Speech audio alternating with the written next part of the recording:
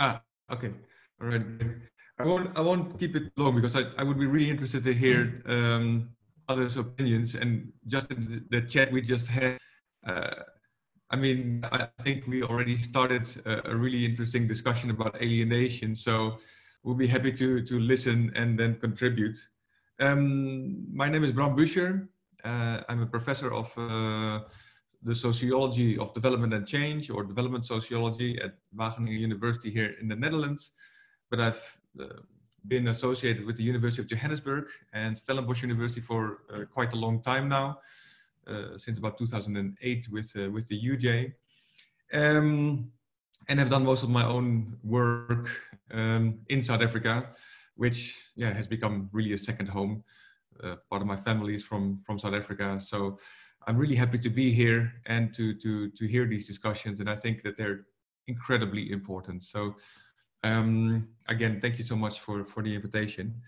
Um, asked me to reflect a little bit on how I see economics in my in my work, and um, and how I would then look at you know some elements around uh, conserving nature or the conservation of biodiversity. Um, but maybe very, very briefly, most of my research so far has been on the link between yeah, environment and, and development in, in a very broad sense. I always find it a little bit difficult to explain what I'm, what I'm really interested in or doing, but I've tried to study the relations between you know, development and environment from different perspectives. So my, my PhD was on uh, transboundary conservation areas in Southern Africa, looking particularly at the relation between Lesotho and KwaZulu-Natal, but also others. I've also looked at the uh, relation between oil and, and fossil fuel extraction and conservation. Um, I did a study on the link between social media and, and nature. Um, so looking at how, how, social media changes our relationship to, to nature. And more recently, I've done work on, uh, together with uh, several PhD students and others, on uh, the increasing militarization of conservation, particularly after the or in relation to the rhino poaching crisis in, in South Africa, uh, mainly around the Kruger National Park, but also other places. So those are some of the projects that I've that I've done, but the core central interest within that has always been to, understand environment and, and capitalism. So my theoretical work is all about yeah, the relation between um, development environment and, and capitalism uh, from a more historical to more recent uh, perspective. And this is then, then I will zoom in on, on, on economics. This is also how I look at economics. Um, I've had several introductory courses on economics myself and um, felt that that was not really for me. Um, I was much more interested in, in, in politics but I've come to sort of review that a little bit. And now my approach to economics is basically political economy, how economic issues like the distribution of goods and services or labor issues are always attached to political issues around interests that people have or actors or um, or uh, organizations or states, etc. So um, from that perspective, and also from kind of different different disciplinary angles, including anthropology and geography, uh, but also political science um, and sociology. I then try to um, broaden an understanding of political economy basically by incorporating three main things. And, and this is something I've, I've only found out quite recently, or I think I've done this for quite a while, but this has become more important to me over the last years as I've tried to, to, to explicate this more. And it means that, that, that three things for me are really important that I feel classical economics uh, does not do. Uh, namely, to take into account history, context, and positionality. So, history, context, and positionality. Um, history, I think, is incredibly important in so many ways, and I've come to make, come to appreciate it more and more as I as I continue to to to yeah to progress my, my work. Um, you know the, the, history of capitalism and and the relation between uh, development and capitalism is incredibly fascinating, and I'm I'm still sort of discovering things in there that help me understand the moment that that we are currently in. Uh, but it's also important to highlight why and how our economic system and our view of economics as a discipline has become what it has become.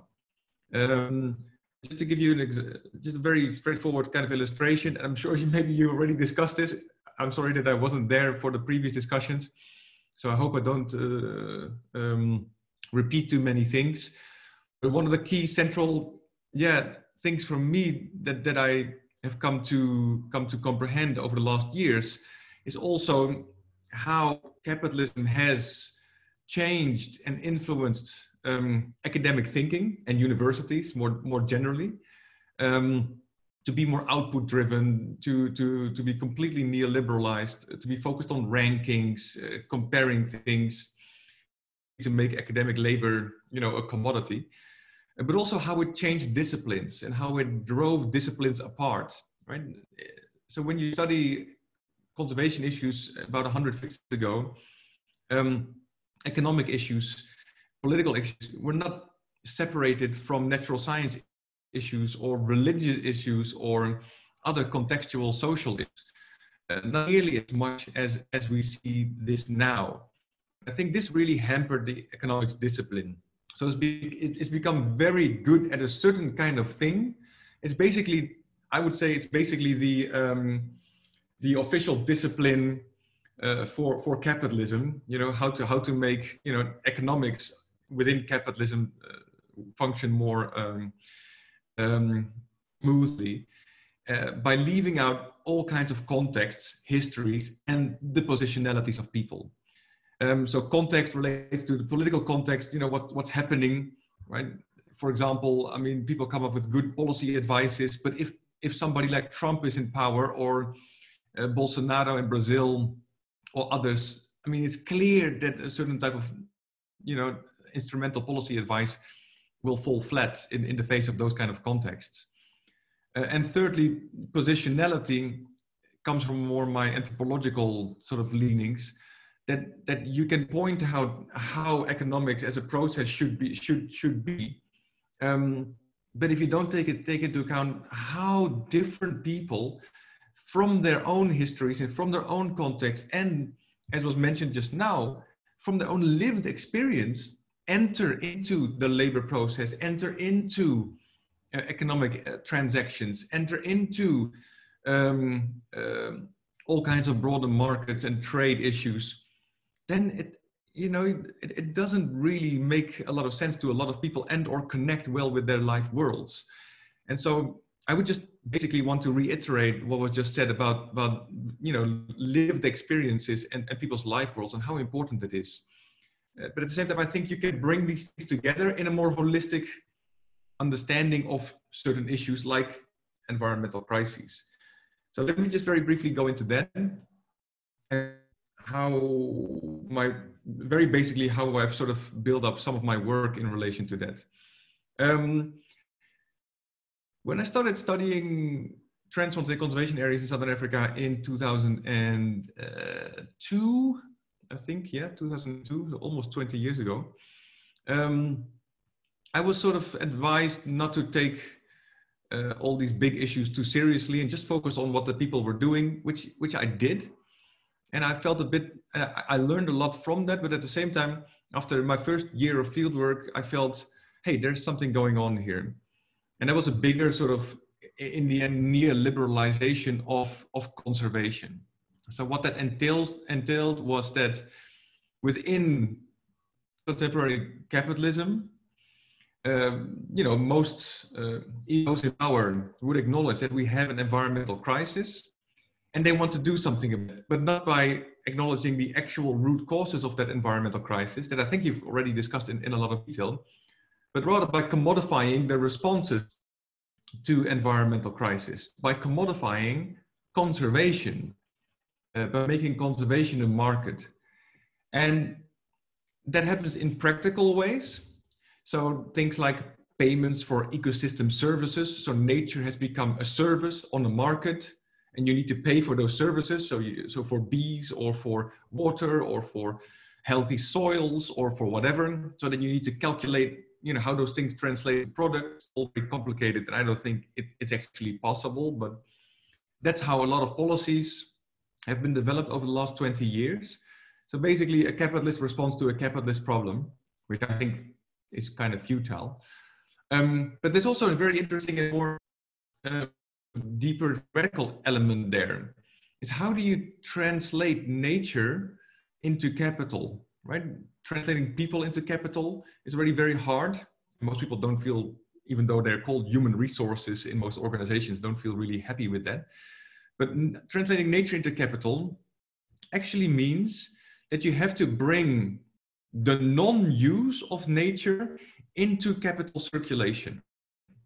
What that entails is a use of nature in capital circulation is quite easy. I mean, for example, you chop down a tree, you make it into a piece of furniture, and it's very clear how nature then translates into a product that can be bought and sold on the market. But how do you do the same thing with the non-use of nature? How do you actually commodify and trade something that you leave alone? And again, that's where that idea of service becomes really interesting. So that then you translate the services that you get from nature. And in that process, a lot of assumptions are made in order to allow international markets and financial institutions to trade in these kind of services uh, or carbon credits and, and, those kind of things that I would argue, and a lot of argue, others argue, amounts to an absolute fundamental contradiction. Right?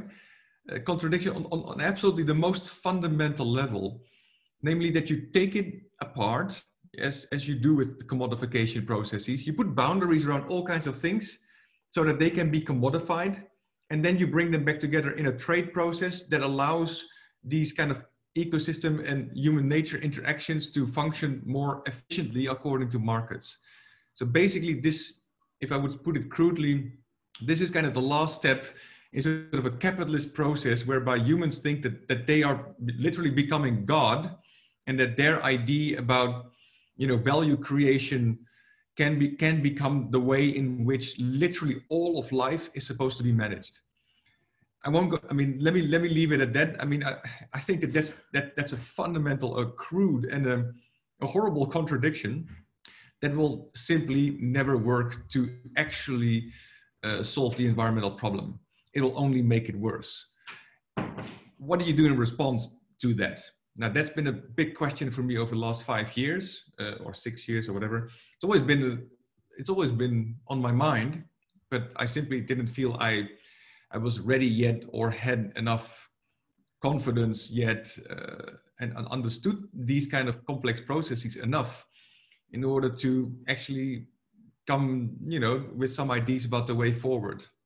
Um, and I still feel a little bit uncomfortable with them because the last thing I think the world needs at this point is a bunch of you know white men from Europe telling um, how uh, how we should go forward with these kind of problems. Uh, traditionally, it's you know again when you look at positionalities, context, and history, it's especially white men um, who have traditionally done that, and uh, look look where it got us. Uh, still, I hope some of us can still play some kind of role in that together with others and that's how I that's how I would approach this and, and how I've approached the whole uh, issue. There's my daughter. Hey, Rana. I'm, ik okay? Um, so what what we've done together with others is to think about okay, so if this is a fundamental contradiction in terms of conservation, how do you take a step towards a post-capitalist conservation? And and we published a, a book called the Conservation Revolution, where we try to sort of very logically go into basically the things that I've just laid out. What is the history of the relation between capitalism and, and nature, and how did it lead to conservation? How does that lead to a very fundamental contradiction um, that I laid out? But I'm now thinking I could put it even more, even more sim, even more straightforwardly. I think, in that exactly the time that conservation has grown to become a really prominent global sector is exactly the time when the environmental crisis has also grown. i.e., before conservation, we did not have a global environmental crisis. And hence, the fact that we have conservation as we know it is related to the fact that we have the environmental crisis as we know it. And hence the two are inter, you know, are both part of the problem rather than the solution. That doesn't mean that everything is bad in, in, in conservation, all the people are bad and all that, but it does mean we need a fundamentally different way forward. That means a lot of different things that I won't go into, but maybe just for this discussion, it means rethinking economics, right? To really bring the politics in, to really bring history, positionality, and context in. I think that's absolutely crucial. And hence also lived experience and positionalities from others, from other voices that we don't know and we that, that, that we don't hear from enough. Um, so I think all of you have an incredibly important role to play uh, in, in those discussions. And secondly, to actually try to imagine new ways forward, to try to imagine another type of conservation that goes beyond human nature culture, the uh, sort of human nature dichotomies, beyond alienation, that doesn't just appreciate nature as a spectacle, but also more everyday, mundane type of natures. And that integrates how we deal with nature fully into our economy rather as some kind of sector on the side that is supposed to mediate the, the, the harmful impacts that the general economy continues to have. Um, I can say a lot more about that, but I will not because I think I've already taken too much time. So I will leave it at that and just look forward to the discussion. And again, thank you for the opportunity. Thank you so much, Bram. That was that was wonderful. I took so many notes. I was like frantically writing everything down because there was just so much there. Um, and I think what's really great is, um, and I hope that we're going to have a lot of time today for for some conversations and questions. So hopefully we can pick up some of those things. I also think that where you ended off about both uh, like the importance of, of lived experience and listening to people's experiences and integrating that, as well as like imagining different ways, is going to lead us very well into Kia's presentation and the kind of work that she does and the people that she that she works with. So I think that that's a really great uh, segue. Um, Kia, are you ready? Yes, I am ready. Great, thank you. So just introduce yourself uh, to everyone a little bit, say what you do, and then take it away. Cool. Um, so hi everyone, I'm Keamogetswe Seipato or Kia, and I am based at the Alternative Information and Development Center in Cape Town, and I work around alternatives to extractivism and climate change, um, focusing on, of course, amongst other things, unfolding a campaign or regional campaign to dismantle corporate power. And um, I'm very excited to be able to talk to, to you today and to be able to engage, to be able to look at particular stuff. I, I think for my part now is that I took everything a little bit backwards and sort of harbored on the point around power imbalances. And I think um, the great speakers in the beginning or the opening plenary really spoke about it. And I think for, for me that most importantly, it's about um, the, the, how power lies in the hands of a few. And, and, and that few own, of course, the means of production and rely on the market to sell goods. So I'm kind of sort of going to go, um, I'm kind of going to go then and take it from there and then get onto the point around those that we work with and really looking at the lived experience of people and kind of how it speaks to um, where we are today. So basically then the few that don't produce for their consumption um, but for the consumption of um, the market, right? Um, those are the ones that I'm talking about. And, and I'm going to be stressing that consumption for the, the market element is the reason why there's overproduction and there's a create and it creates the conditions for overconsumption and waste. So this arbitrary thing called the market determines what, what needs to be produced and consumed. So basically the continuous tango between production and consumption puts pressure on nature and people. The pressure exerted is considered, of course, as a externality, or in pop culture terms, is considered as an L or a loss that nature and people must take, right? So here within lies the problem, right?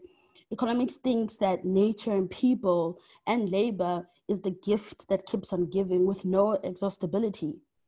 So there are, of course, some economists that look at supply, demand, and the allocation of the Earth's resources and try to create um, a sustainable relationship between the three. However, we are yet to see that, right? The current paradigm we exist in is where nature and people are outside of the production and consumption tango and can therefore be exploited by any means necessary for the tango to continue and profits to be made. I think um, you alluded to the conversations that happened yesterday around people being alienated from from nature and i was talking about the alienation from nature helps us then to what I'd call othering nature. And because we other it, it's simple to use it as a tool to get what we need and not consider the, the, the implications of it, right? So the extraction and exploitation that takes place for the benefit of the few, right? This is where the power imbalances um, lie. And this is where many of my colleagues and myself come in, right? So the struggles that we're a part of challenge and seek to dismantle the power asymmetry created by the global economic system. The power asymmetry which places profits at the forefront of everything, right? There are different players in this game. But for our focus is what Professor um, Leon spoke about, which he called stateless enterprises. And, and, and one of our other focuses is the drive to curb government interventions and public spending with, of course, the growth of the private sector. So, in our context, stateless enterprises, or rather transnational corporations, are involved in the destruction, disruption, the destruction and disruption of nature, shrinking tax bases, evading wages, and violating human rights. To be concrete, the sustained destruction and disruption of nature gives us the current ecological crisis we are facing, and more immediate, the climate crisis, which at the present moment gave us in Southern Africa droughts and Cyclone Idai. Communities know that Cyclone Idai ravaged Mozambique a lot, actually, and um, a couple of years ago, we were about to have day zero in Cape Town. And technically, in South Africa, we've had a six year long sustained drought. So, in countries like South Africa, mining has led to the deep environmental degradation to the point where old mining towns in Mpumalanga have sinkholes and there's fires underground, literally. In the Vaal or the East Rand, we see large mine dumps that poison the air and affect the respiratory systems of people that live close by. The continued tango between production and consumption is an incentive not to spend money on mining rehabilitation. Rehabilitating the environment is an obscene cost for profit makers. So families are displaced from their land and homes so mining can take place. People are killed and beaten so mining can take place. Communities are denied water so mining can take place. Food systems are disrupted so big agrochemical companies can make money. Seeds are genetically modified so companies like Monsanto or Bayer can make money from patents, of course these seeds, the, or these genetically modified seeds, usurp the space of indigenous seeds, usurp the space of indigenous knowledge, right? Hold small scale farmers and peasants hostage. So, as I mentioned earlier, the struggles we're a part of are about dismantling the power symmetry.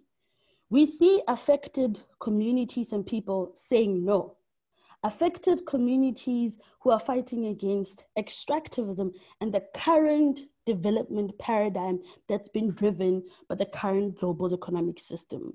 Communities are determining what kind of models that they want to live under, right? They're they're determining and creating and putting forth models that respect the symbiotic relationship between people and nature. So basically, through some of the work that I'm doing and those that I'm engaging with, we see small scale farmers um, in Zambia who are fighting against Parmalat.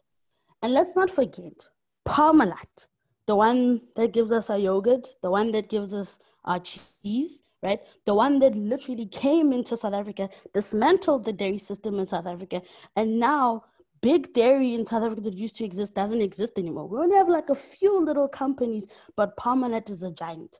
You've got smallholder farmers in Zambia fighting against Parmalat for doing the very same thing in Zambia, usurping the dairy system and pushing and killing their livestock and their means to be able to put food on the table.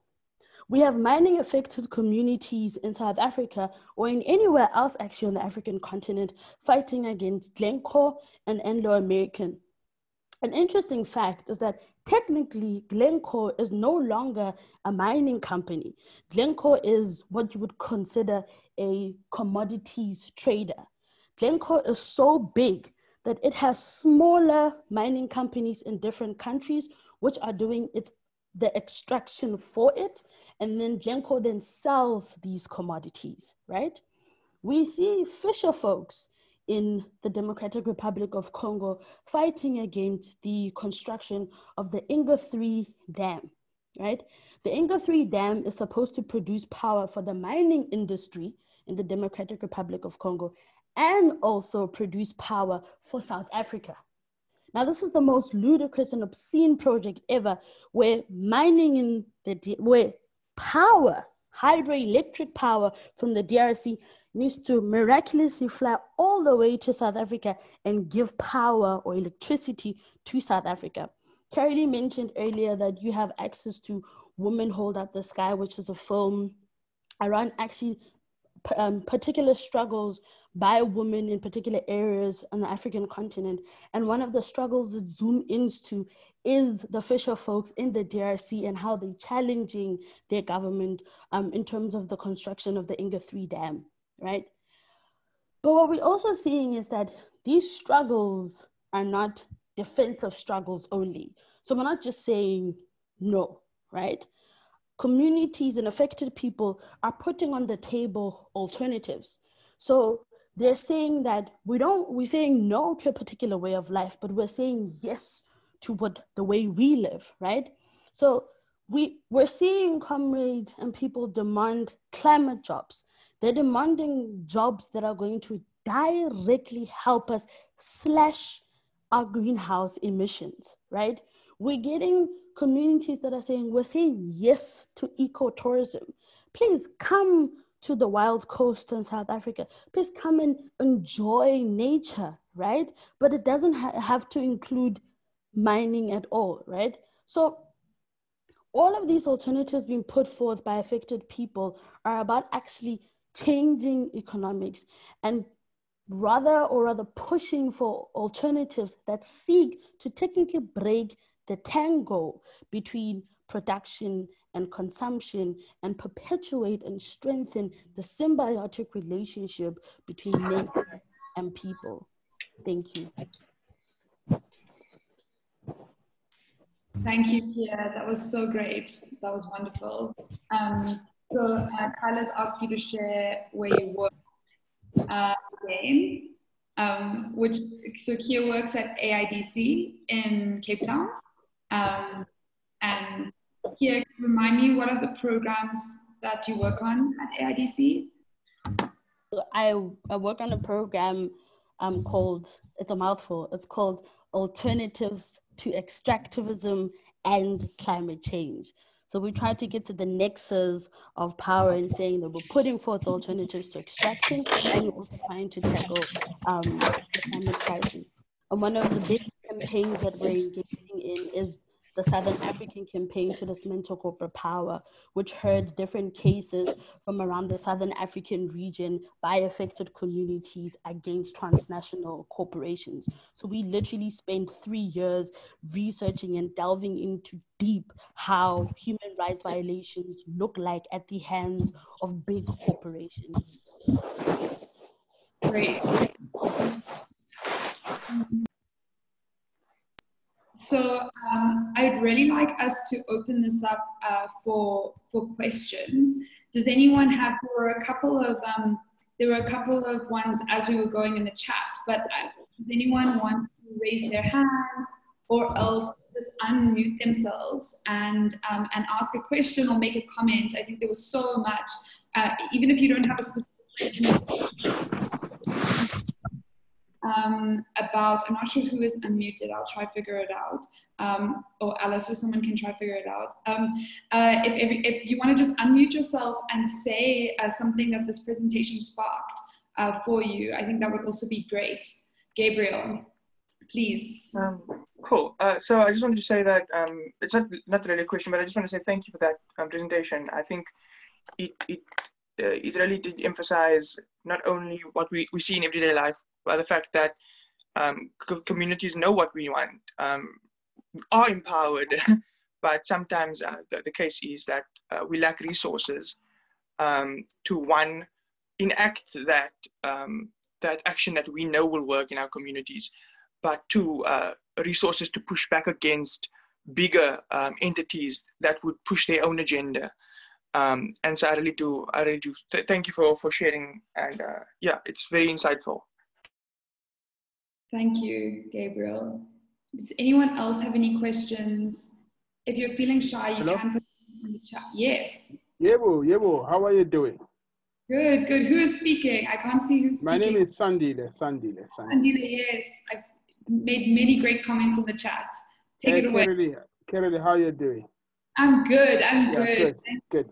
Take it away. Yeah, fantastic. Kia, Kia, this was a fantastic, passionate um, presentation uh, one of the, you know, one of the ironies of what you are saying today is that, you know, as far back as the 70s, the 80s, the 90s, uh, you know, with uh, the Save St. Lucia campaign and others, the kind of issues you are raising, uh, you know, uh, you know, could have been raised even sharper because it looks like you have not been listening all along. Uh, it looks like the voices of the poor, the marginalized continue to be violated. It's even worse in a country like ours, where in fact, I think uh, corporates are, are, not being held accountable enough, uh, so much that they are messing up here and they're even moving to other borders. So it's a new kind of violent colonialism uh, that is crept in and, and, and the presentations like yours give us hope uh, that there is direction, uh, there is legitimacy uh, for people on the ground uh, to fight, uh, you know, you know, you know, against these forces. So, so I thank you for that, Kia. Uh,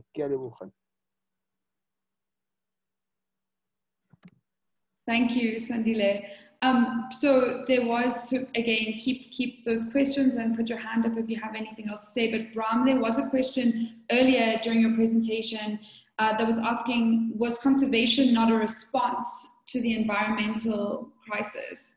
Uh, and I, maybe you'd like to say a little bit more about that. Um, yes, yes, it was. Um, but at the same time, I would argue not a response that uh, tackled the structural causes of uh, of environmental crisis.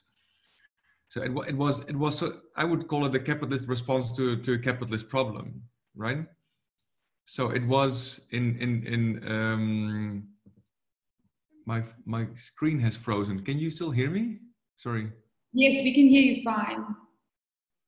Oh, okay.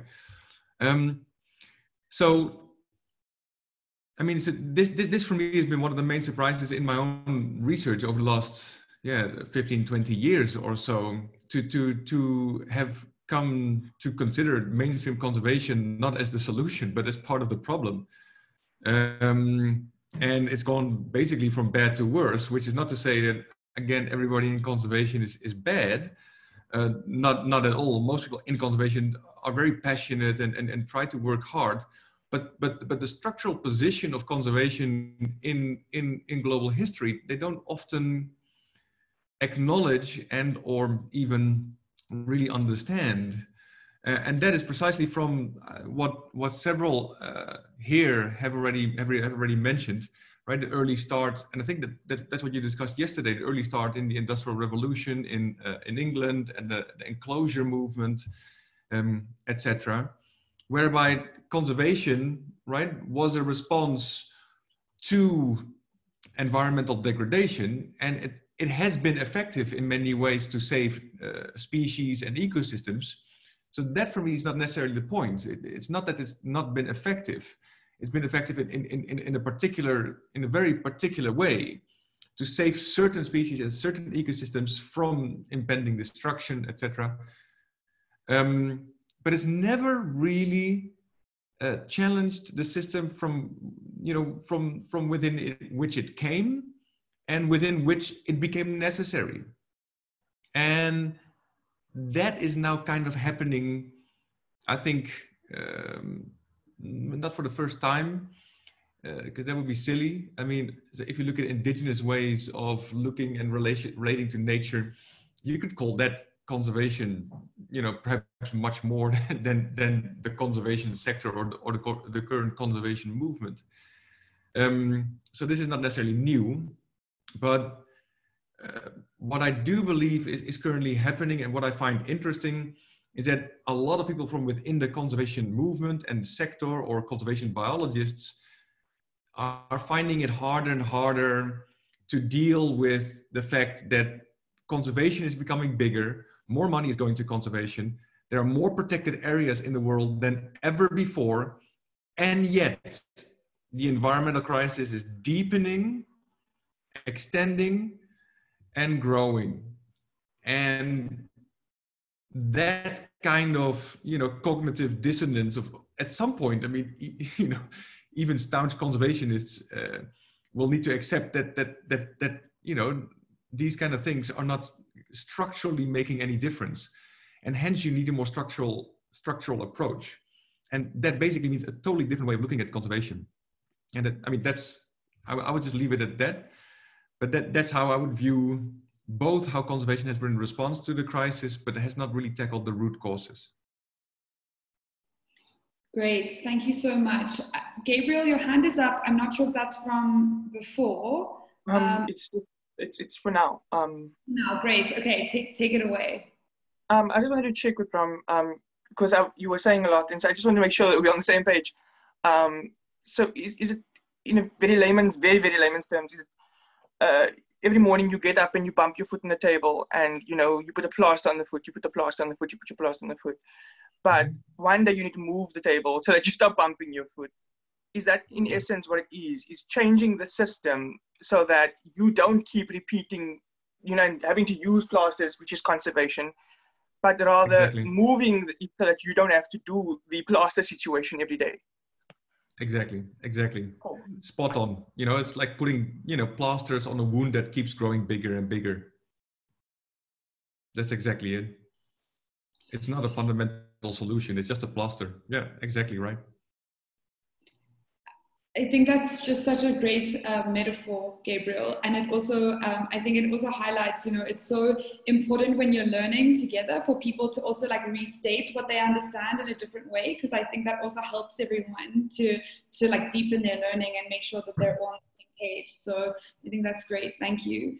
Uh, Bruce, I see that your hand is up. Would you like to come in?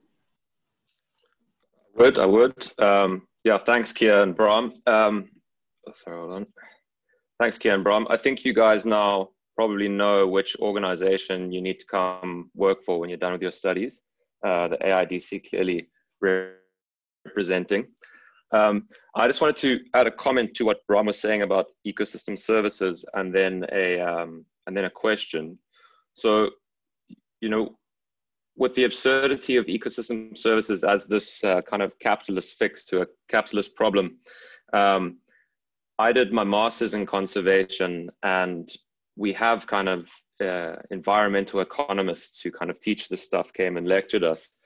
And one of the things which kind of shows the absurdity of this is if you try put a value on a on a forest in some way to kind of conserve it, and you can show that um, you know, if you protect this forest over 10 years, it's going to create value by kind of purifying the water or all these kind of things they try and quantify.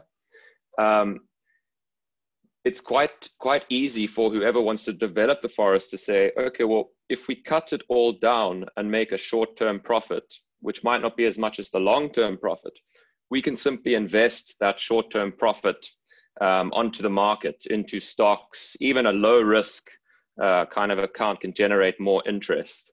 Um, so it's it's so often that even if you can quantify nature, there's going to be a way that you can um, add a higher value uh, through its exploitation.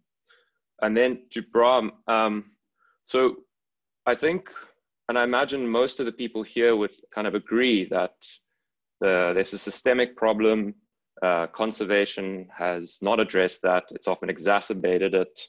Um, but now that we know what the, that the issue is systemic and that conservation needs to change, and given that it is a crisis of capitalism, what are the kind of politics and what are the kind of strategies that conservationists need to take to kind of build an anti-capitalist uh, conservation uh, politics? And what are the kind of social forces they need to link up with? How do they do that? Um, i'm interested in that kind of um, kind of thinking strategically now um, what do we need to do thank you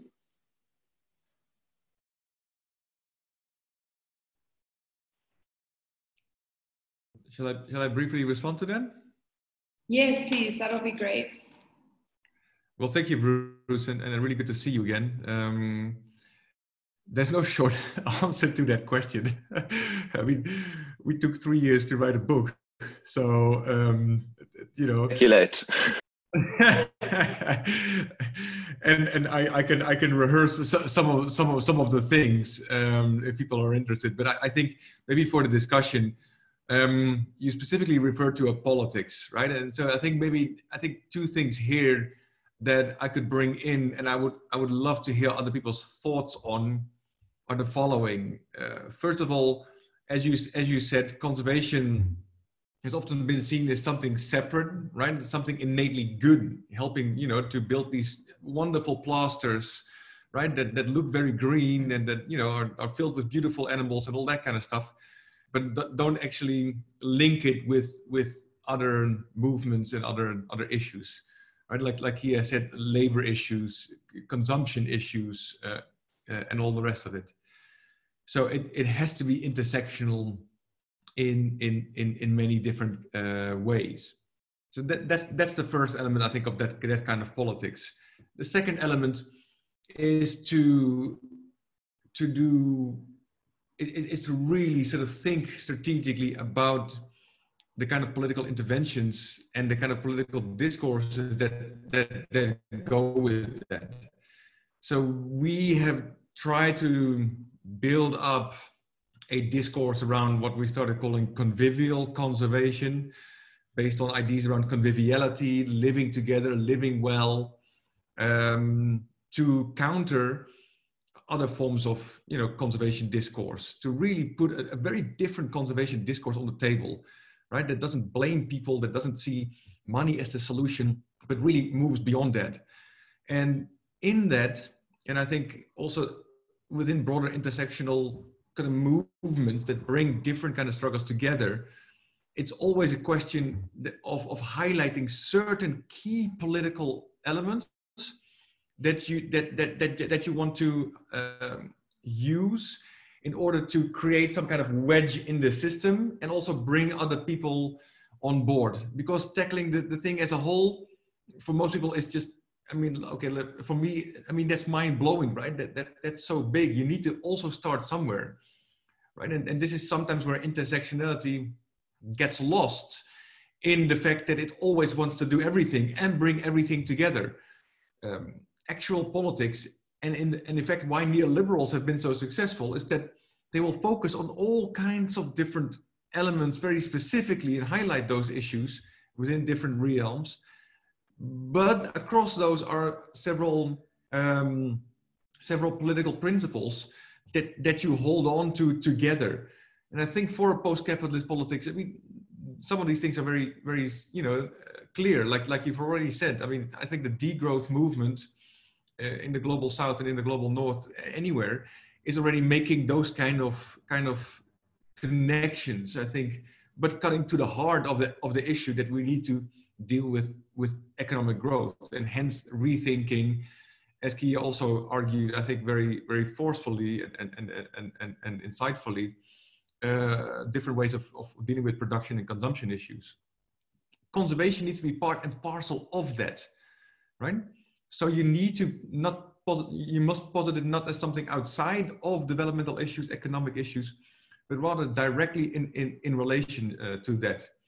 So we have thought about three different particular kind of dimensions that, that, that we, we feel are, you know, like interesting starting points.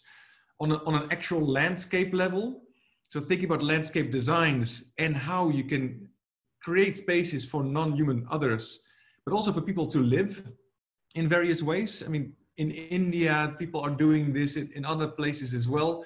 I think we can learn from this uh, and, and, and try to scale those things up.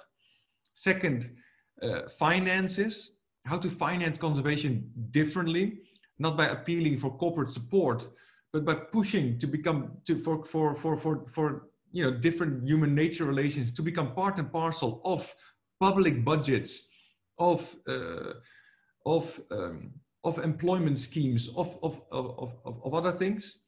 And thirdly, and one of the things we suggested in, in relation to conservation, for example, is a conservation basic income scheme.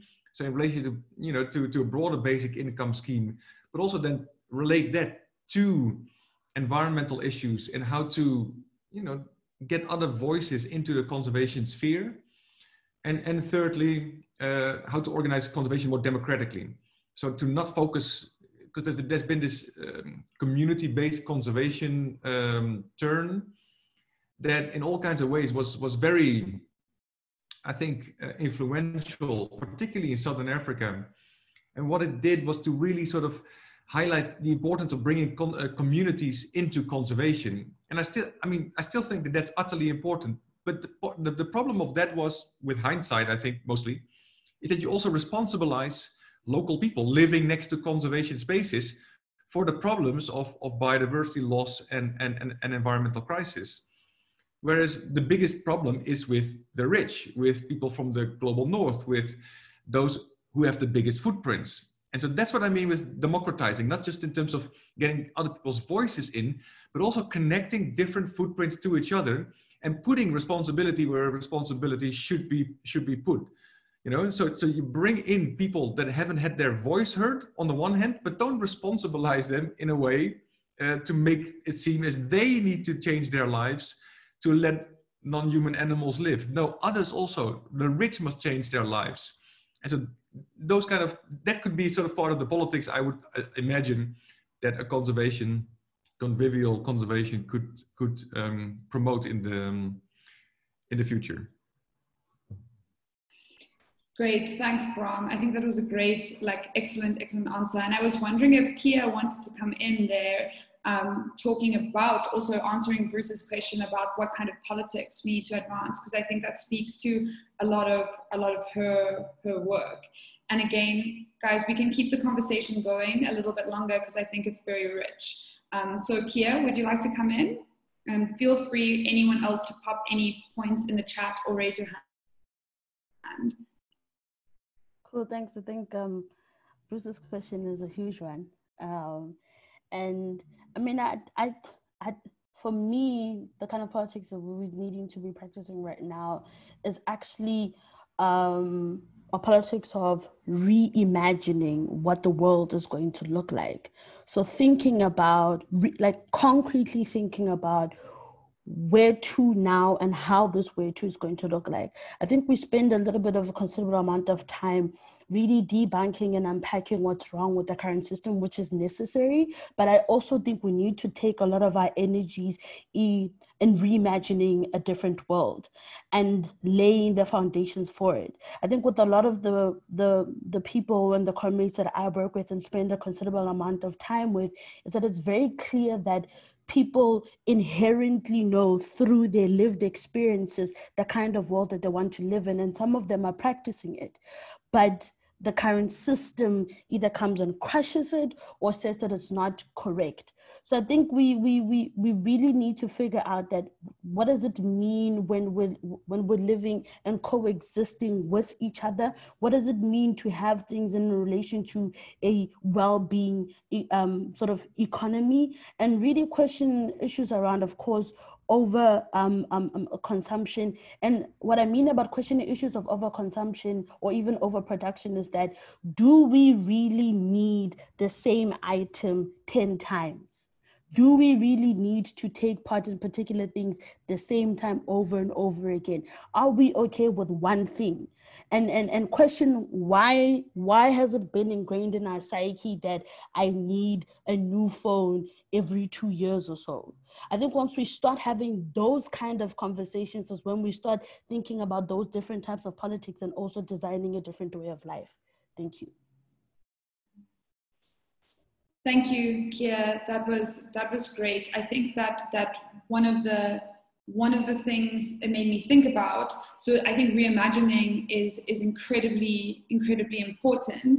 And um, and i think one of the things that neoliberalism does is is try to limit our imagination right? It tries to make us um, think that this is how the world is. And you know that's the whole the the fukuyama end of history thing right? That's been proven to be very, very wrong.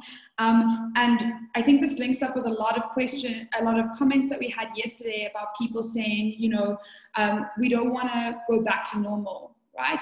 That a lot of people have said in the COVID moments that that things are really like things are really awful and we're tired of things being the way that they are. But a lot of people have pointed out, you know, things were not very good for most people before this. Um, and so I, I think I said this to everyone yesterday. The name of one of the reports that my colleague and I did was entitled like "No Going Back to Normal," um, like imagining a just recovery for South Africa because that's what we're really trying to do.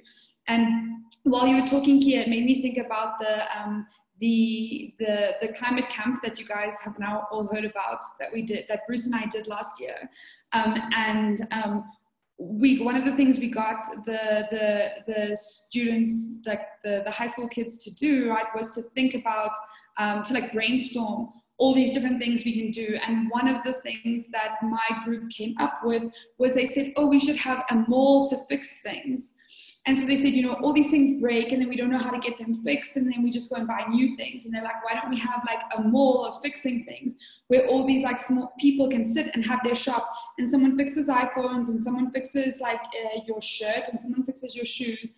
And it's such a small thing, but I was like, that's really cool. Like a mall to fix things is really great. Um, and I think that like having these kinds of conversations and opening people's minds is really, really um, important. And all of these things are are linked, and we we we need to um, like tell people, you know, that that that there are there are different possibilities if we make different choices and if we imagine different different choices. Um, does anyone else want to come in with some comments, some questions? Uh, Awande there. I see your hand is your hand is up. Um, so if you'd like to ask your question. Thank you, Carrie Lee. Um, it's, it's more of a comment now. Um, I, I think Bram covered most of it, but Kia raised a very um, relevant point, which I think is something that needs to be echoed, um, and I hope is being echoed across all the other streams and in every other session with regards to thinking more intentionally with regards to the alternatives and the solutions to these these crises that we are so um, you know uh, familiar with in, in, in such spaces. Um, and I think something that Bram also said that kind of touched on me was this this concept of convivial uh, conservation. Because for me, uh, conservation, I grew up in an area near the Kruger Park, so um, in school, ideas of conservation and, and, how we relate to nature were drilled into us um, in, in a way in which I'm only beginning to reinterrogate now as I'm older. Um, but conservation has always seemed as such a defensive, um, uh, a defensive was called again action to me with regards to we just trying to preserve what little is left as it's being chipped away more and more. Um, and now being introduced to this concept of uh, convivial conservation and you know other um, ideas of degrowth, climate justice, and radical ecology, ecology that fit in with that. Um, I'm just um, kind of curious also with regards to if we can reach a point where conservation is something that we no longer speak of because we are moving into a, a you know maybe a field of regeneration um, ways where we're not learning to um, live with nature, but ways in which we are more greatly integrating nature into our everyday lives, increasing uh, the amount of, of, of um, interaction um, and, and space that, that is left for you know nature to to to, to be, uh, particularly uh, in our continent because it still has, I mean, compared to the, the global north, there is still that kind of room, but at the same time, uh, due to our ambitions of economic development, that window and what is left and what has to be conserved is shrinking and shrinking um, very fast. Uh, sorry, that wasn't a question. That was just a comment. No, thanks, Awande. I think that was great. And I think um, it speaks to some of the things we were talking about yesterday. I think this was a discussion partly verbally and partly in the chat about like uh, understanding ourselves not being separate from nature, right? And also about the, the idea of, you know, um, people becoming alienated from nature, especially when people live in, in, in, in particular in urban poverty, right? Um, and, and, not, and not having that kind of connection to what we typically think of as nature, um, which I think is, is really great. I don't know if Bram or Kia would like to, um, to comment on any of that. We have a couple more minutes before we need to close. So I don't know if, um, if anyone wants to come in and make any comments on that. Uh, Curly, can I can I yes. just come in brief? Because I think Awande hit something for me uh, in relation to the whole conversation around economic growth or or even um, development. You know, and and a lot of the things that we're seeing, in particular in the African continent, is is um, people wanting to de-link from the quintessential understandings of the current development paradigm because the current development paradigm is an extractive one for the african continent right? So we're here to take so we can create somewhere else and then those who can um, consume in the african continent can then buy it back. So i think i think i think we're we're needing to really ask ourselves the deep and serious questions about what is this development you know and what are we actually trying to move towards?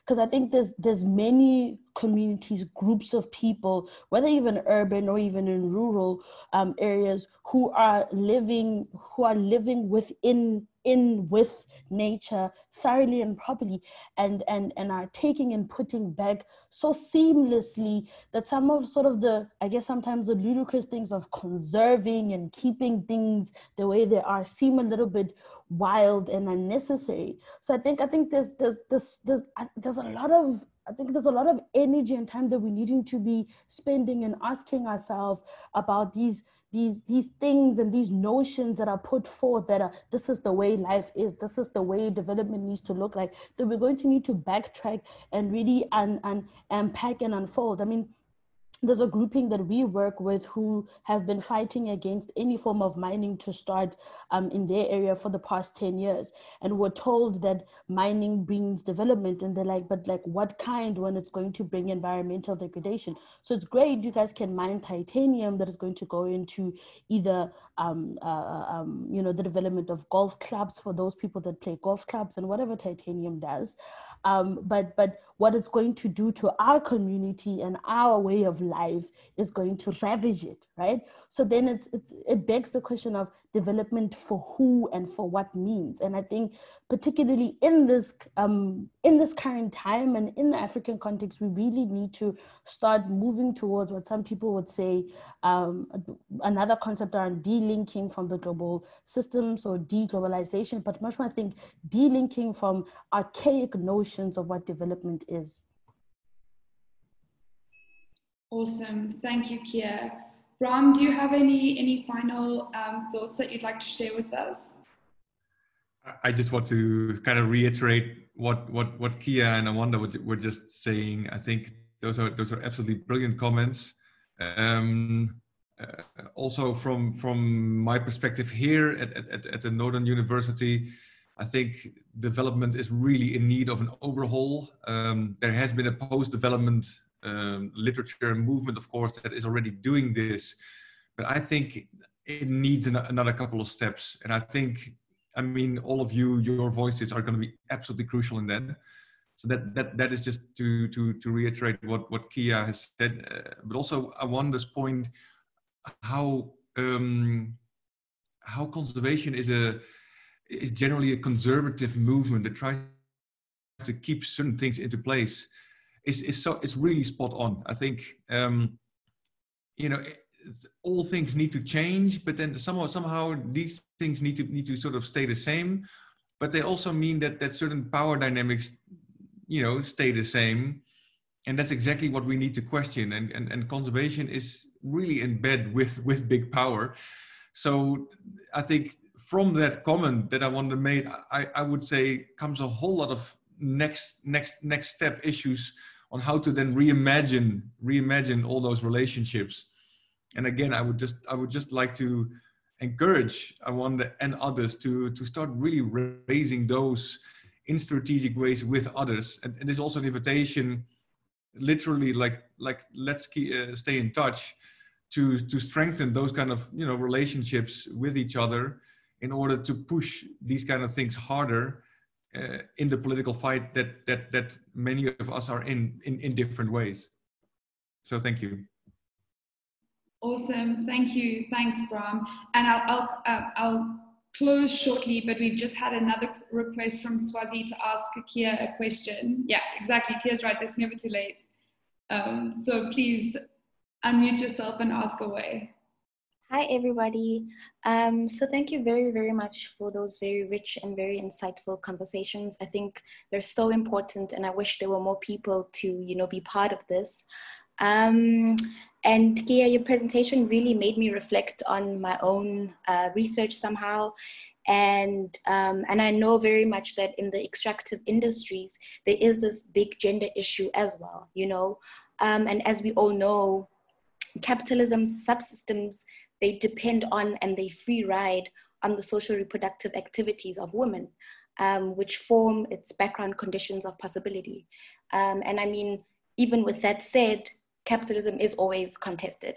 And I just wondered, um, with the women that you work with in your research, if you do work with any women, what specifically are the types of things that have stood out for you in terms of how they're imagining these alternatives? Um, and yeah, like what are they doing? What are these alternatives that they, that you have seen? And um, yeah, what did you take from that? Can I jump in, Carolee? Yes, please do. Okay. Um, thanks, Ozzy, for that question. It's actually an exciting one. Um, just to say that 95% of the groupings that I work with are actually women. Um, and we have this running joke, particularly with um, lawyers, that if there's a court case, that we prefer women to sign um, the affidavits and whatnot because they never change their mind. Men do because they can be bought over with a car or something. So uh, I think I think I think um, the women who are at the forefront of extractive struggles are very, very clear in protecting their ways of life. And they can articulate it clearly and let you know that we've been living um, for years on this particular piece of land and we've been doing it for so long. Who are you to come? I have comrades from Ghana who say, and there's, there's always issues between Southern Africa and North and Central Africa, but there's comrades from Ghana who say that Ghanaians have been mining gold for years and all of a sudden now extractivism is an issue um, it's because it's not done right. So, so, so I think um, if you like, we can continue this chat offline, and I can regale you with like a lot more stories of how of how women are extremely inspiring and are very clear around the alternatives. But I think, and, and this is something that I made earlier in my presentation about the the exploitation of nature is similarly for me the, with the exploitation of, of of women's labor. That women have been othered um, uh, um, in, in terms of the, the, the, the, capitalist system. So it's easier to exploit.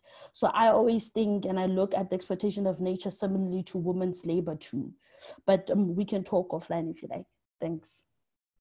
Thanks, Kia. And I think as you were saying that, I, I thought the same thing. The way in which like the kind of labor that, that typically women do in the economy has been made invisible by the way in which our, our economy uh, functions or the things we value in our economic system is the same way in which the work that nature does becomes invisible. And that goes back to some of our conversations we had yesterday about GDP and what counts, right? What counts when you're when you're measuring an economy? What counts? It, it's typically not the kind of social reproductive work that women do, and it's not the work that nature does.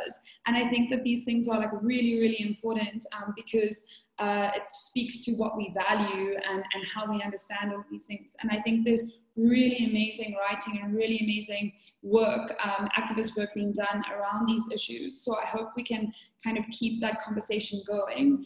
Which brings me to the kind of final point that we're going to have to close the session now and our next session at 2.30 is a plenary um, so i think if someone can just uh, alice or, or Nsako Tseko can just post the link to that in the chat you guys should all have that in your resource packs um, and all of that. But we're going to have a plenary session with the other streams. Um, and I think it's going to be really great and really, uh, really um, helpful. We got some wonderful speakers in that as well.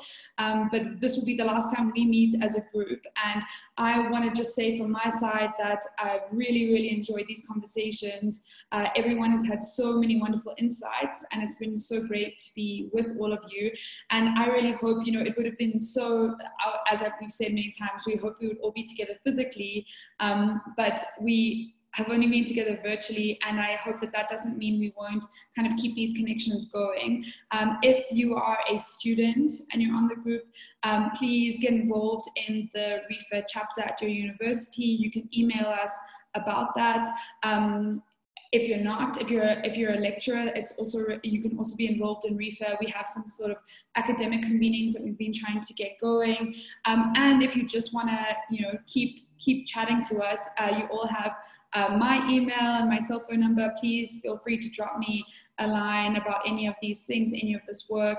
Um, and I think the same goes for any of the other REFA groups. So I really hope that we can keep in touch and we can keep going. And any ideas you have around how we do that um, will be really helpful.